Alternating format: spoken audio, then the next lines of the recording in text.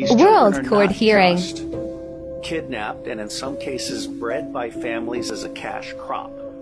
We have people in the United States of America that breed children in order to sell them. And when they are sold, they come without birth certificates, which means it's easier to kill them and have no one ask where they are. We're also importing children by the plane load. Again, children who have no documentation.